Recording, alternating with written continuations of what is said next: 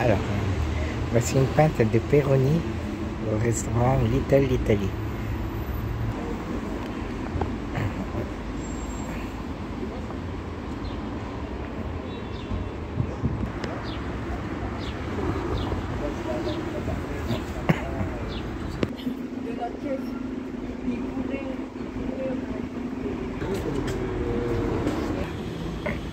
Donc voici l'assiette salade italienne faite par Italy.